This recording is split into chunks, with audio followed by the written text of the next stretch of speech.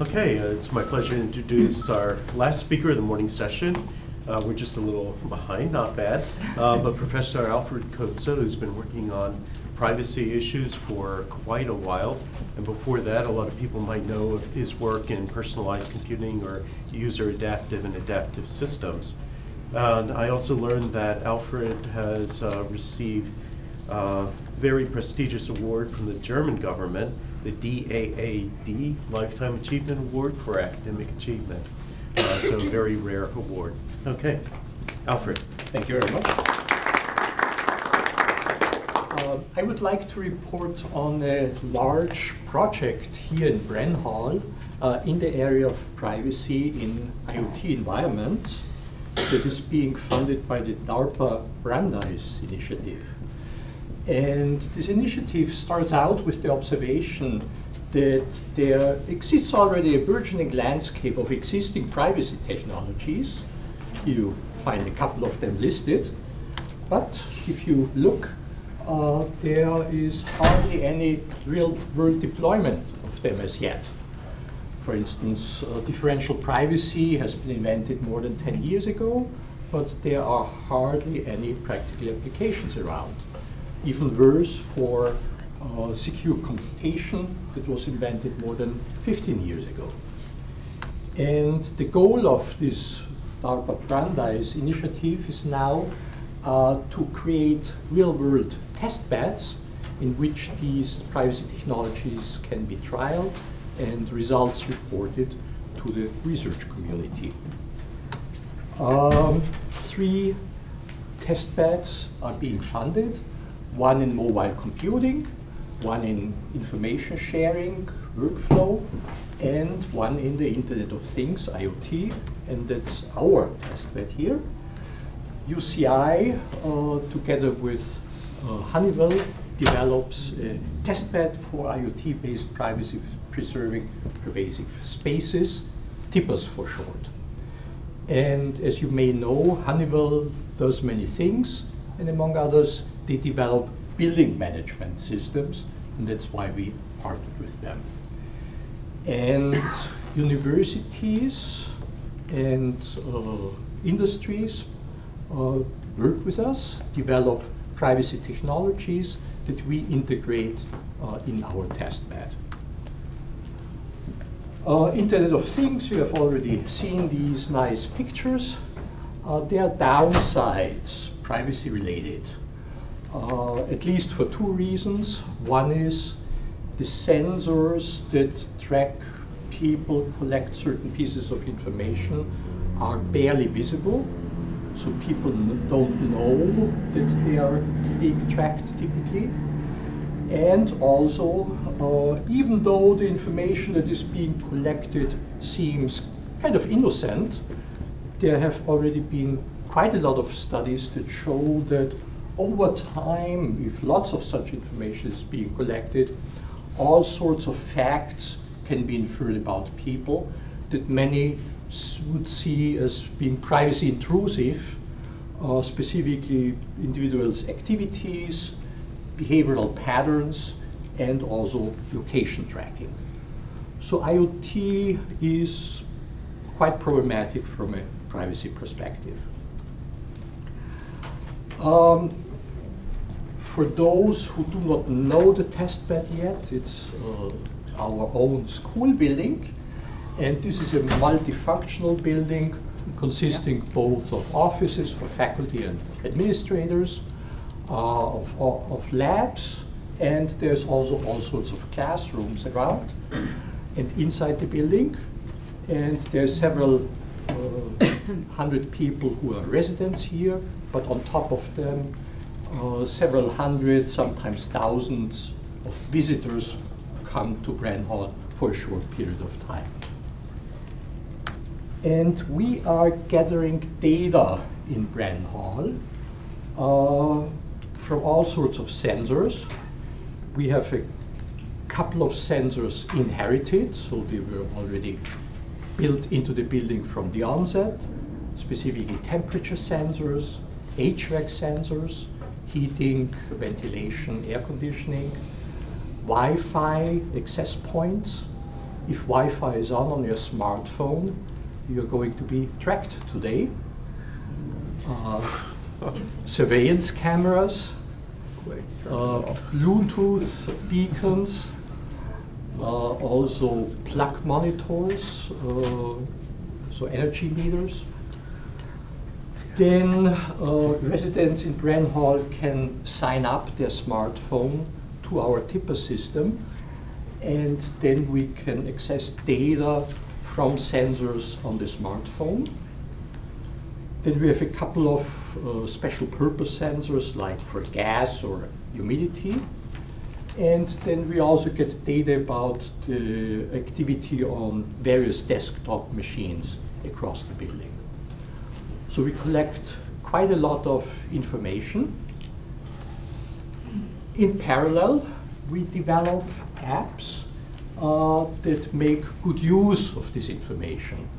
So for instance, there is a concierge app that helps visitors and residents of Bren Hall uh, find facilities and find people uh, in Bren Hall, specifically people that they have in their contact list or in their calendar. And then we have an application Noodle uh, that helps arrange uh, meetings. And participants of the meeting can see the location of each other and kind of can predict whether the meeting will start in time. There's automatic reminders, and this app can also record the meeting. And as you can guess, uh, functionality might be a little bit privacy invasive. there are some other apps, uh, more for building administrators. So an app that shows the energy consumption various areas of the building, and this can be correlated with occupancy. And we are uh, developing all sorts of apps continuously as a matter of fact, starting tonight and continuing over the entire weekend, there will be a, the second Tippers Hackathon held, where undergraduates and graduate students uh, can build new apps, and the winners will get very nice prizes. Here's a high-level overview of Tippers. Here's the core, so sensor management, data management, data collection. And applications can communicate with uh, tippers through APIs. So we have APIs where sensors can send data. We have APIs where observers, like individuals in the building, can send requests, like where their colleagues are located currently or where analysts can request data to do statistics. And most importantly, um, we have everything is stored in a database management system, and we have APIs by which we can plug in privacy technologies uh, that our partner partners in industry and in uh, academia develop. So, for instance, uh, one company uh, that works with us has developed a secure data man management technology. And we can use that to store Tipper's data uh, in a secure manner in the cloud, even if the cloud is untrusted. Where another partner has developed a differentially private database system, and we can use that to store uh, Tipper's data all requests are channeled through tippers and therefore we can intercept them and modify them in a possibly privacy friendly manner. So for instance, if a building administrator requests data uh, that will be visualized in an occupancy heat map at a level of detail that would allow the identification of individuals, we can intercept this request and uh, send a differentially private response that does not allow for the identification of individuals. An important part of tippers are policies. uh, that cover the storage, the capture, the processing, and the sharing of data. And those policies can both apply to infrastructure devices, like surveillance cameras, but also to users' individual devices. And they can both be defined by building managers. So a manager can say uh, surveillance cameras will only be on during weekends and after hours. And they can also uh, control uh, users' devices so that smartphone cameras will be switched off uh, in certain areas of the building. From a privacy perspective, uh, also users can define their own policies. So like that they don't want to be tracked. And I'm now going to show you uh, this in a short scenario. Users have different privacy preferences, and Tippers allows users to specify those preferences in so-called privacy policies. The Tippers IoT environment will enforce these user privacy policies. Tippers uses CMU's IoT technology to inform users about building policies and to learn users' privacy preferences. The first step is to inform the inhabitants of the building about the information captured by tippers. For that, Bob, the building manager, defines this information through the Internet of Things Resource Registry, or the IRR. We're building an infrastructure that will enable resource owners to declare the presence of their resources in different spaces along with the privacy practices associated with these resources. What data they collect, for what purpose, how long they retain that data, to what extent they aggregate or anonymize that data, and to what extent they have settings that they're willing to make available to users.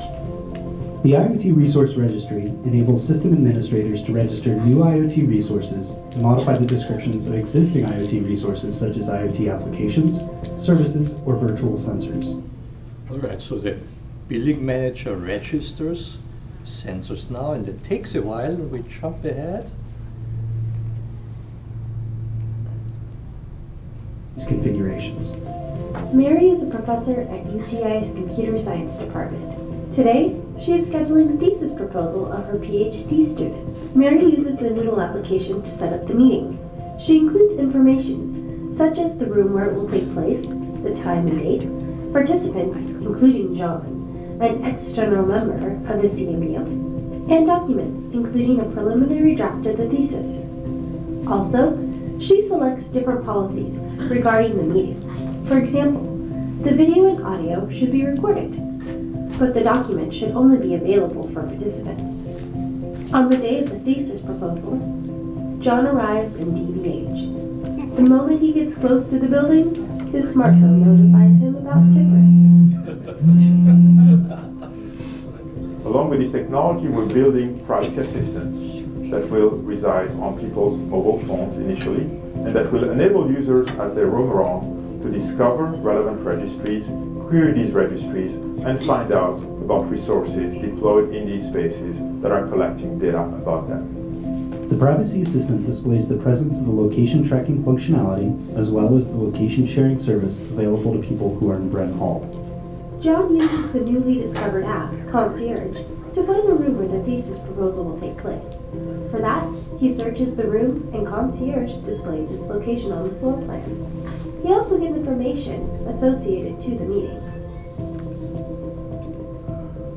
John follows the directions of Concierge to reach the room. He discovers in Concierge that there is a coffee machine in the floor and decides to grab a coffee on his way. The thesis proposal is about to start in five minutes, and Mary wants to know if John is nearby. Concierge also enables residents of the building to find others. Mary uses Concierge to find John.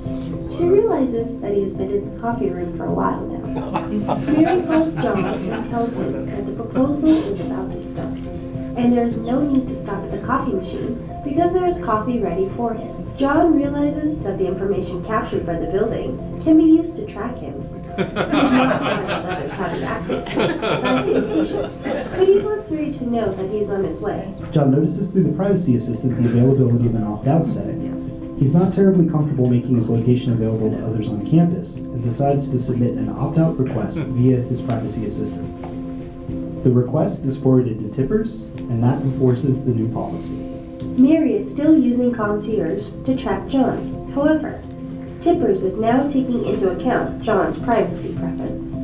So, concierge shows that John is somewhere in the first floor. John finally reaches the room, and the proposal can now start.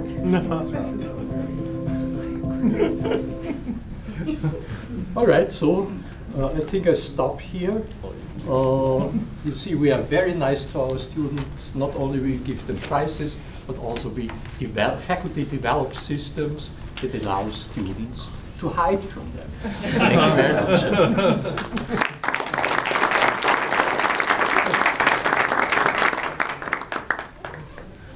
Okay, we have time for some questions.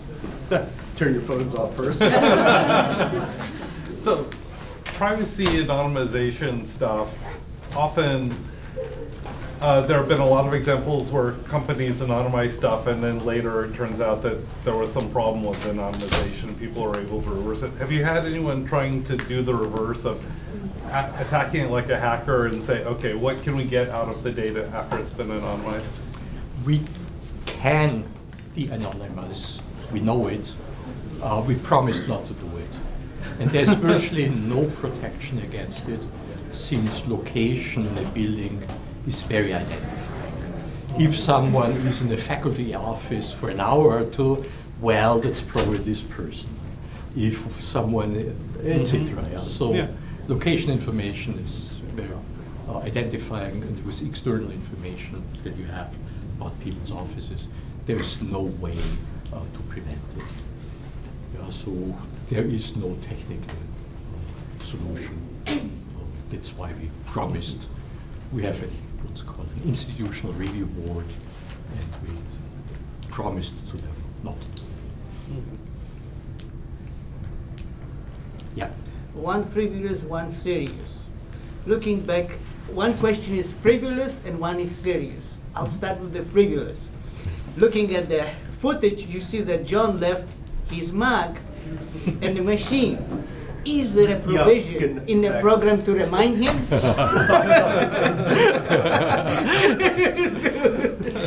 and the other one In is the- serious. In your experience with dealing, what are the basic barriers in adoption of the technologies? Are we looking in legislative and regulatory environment, such as uh, United Kingdom has provisions for weak encryption? Or is it more of the cost? Or is it more of the personnel issues, training and things of that nature? Uh, both questions can be answered very easily. There is already uh, there is already technology that you can stick on your mug, which will alert you when you leave it in the classroom. Maybe we'll integrate it in the future. It's useful.